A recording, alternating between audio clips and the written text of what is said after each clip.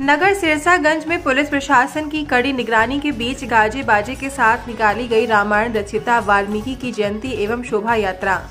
पूरा मामला नगर सिरसागंज से जुड़ा हुआ है। 19 तारीख को समय 8 बजे नगर सिरसागंज में बढ़ाई गई धूमधाम एवं गाजे बाजे के साथ पुलिस प्रशासन की गड़ी निगरानी में निकाली गई रामायण रचिता वाल्मीकि की शोभा यात्रा। इस यात्रा में नगरवासियों ने बढ़ चढ़ कर हिस्सा लिया। इसके साथ साथ दूर दराज के लोगों ने भी अपने कदमों को ना रोक सके। इस यात्रा में मनमोहक झांकियों का किया प्रदर्शन। जैसी राम लक्ष्मण सीता का डोला, डॉक्टर भीमराव अंबेडकर का डोला, रामायण रचयिता वाल्मीकि का डोला, इन अनेकों प्रकार की मनमोहक झांकियों ने नगरवासियों का मोह लिया मन। इसके साथ साथ इस कार्यक्रम में नृत्य करने वाली कलाकार भी रहे उपस्थित। कार्यक्रम को बुलंदियों तक ले जाने के लिए ढोला एवं झांकियों के साथ चल रहे गणमान्यों का नगर पालिका सिरसागंज के चेयरमैन पद के उम्मीदवार सुशील उर्फ़ बबलू यादव के द्वारा डाक घर तिराहे पर पुष्प हार माला पहनाकर एवं पगड़ी बाँध कर किया गया भव्य स्वागत। इस कार्यक्रम में सिरसागंज के पूर्व चेयरमैन पंडित सीताराम एवं शिकोहाबाद, फिरोजाबाद, जसराना से आए हुए गणमान्य लोग रहे उपस्थित।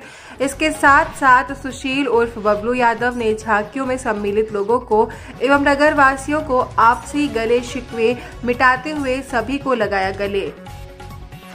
आगामी त्योहार दीपावली, धनतेरस, भैया दूज को लेकर सभी को दी गई हार्दिक शुभकामनाएँ। जिला फिरोजाबाद से वरिष्ठ ब्यूरो प्रमुख संदेश कुमार गुप्ता की खास रिपोर्ट।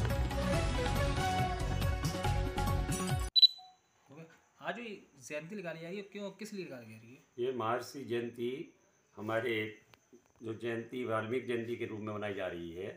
ये रामचंद्र जी की जो उन्होंने वो लिखी थी रामचरित मानस उसके ये लेखक लेखक हैं उनका जीवन में बहुत अच्छा प्रभाव होता है। जैसे सही मार्ग पर चलना किसी को गलत मार्ग से सही मार्ग पर ले जाना यही जीवन की एक ज़िम्मेदारी है और हम भी सही मार्ग पर चलेंगे।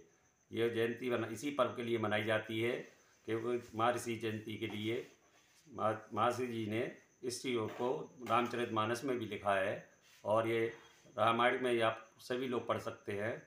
इसी के लिए ये जयंती मनाई जाती है।